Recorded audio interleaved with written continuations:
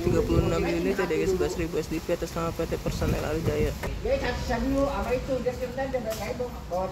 Meski terkoneksi, oli sudah terisi, coba kalian